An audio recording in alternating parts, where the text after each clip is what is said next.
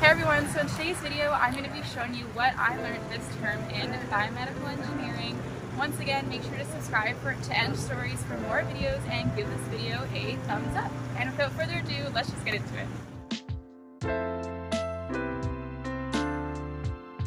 Oh, I didn't see there. I was just admiring the view from the rose garden.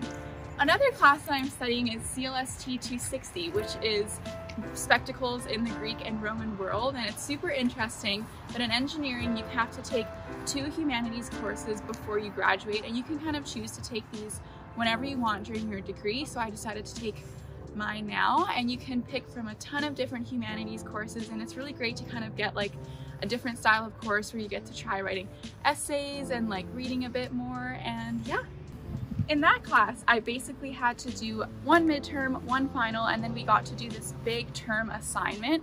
And so for our assignment, we had to design our own Roman game. So we had to design like who we were gonna have, we had to make a budget for it, we had to make a timeline, and all the different kinds of events we wanted to include it, and it was actually really fun. Okay, now we're gonna go to the chem building.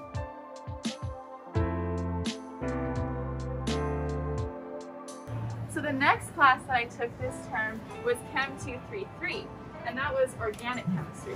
So let's talk a bit about more about that. 233, we do organic chemistry, so that's tons of different reaction mechanisms.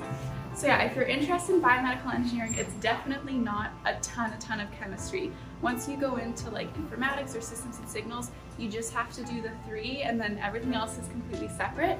But if you are interested in that, you can go into the cellular stream where you take biochem, molecular biology, immunology, chemistry, and things like that. So you can definitely choose what you want to do, but I feel like a common misconception is that it's very heavily focused on biology and chemistry, which it doesn't have to be.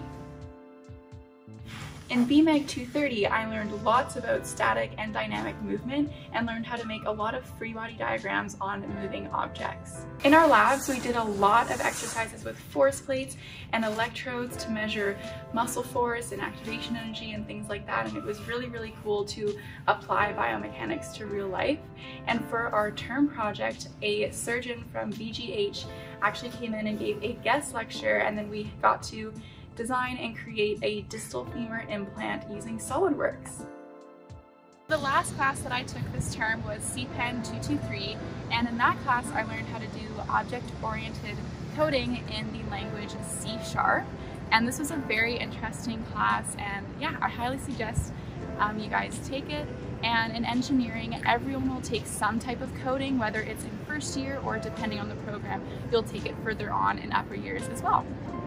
Alright guys, that's the end of this week's video. I hope you all enjoyed and I hope this gave you some insight into what people study and what we learn in biomedical engineering. Once again, just for reference, I'm in kind of third, second year because I split my second year and yeah, I'm taking a reduced course load, but that's everything I learned and I will do this again next term for those of you who are interested. Make sure to give this video a thumbs up and comment down below which class you think is the most interesting and we will see you in our next video. Bye.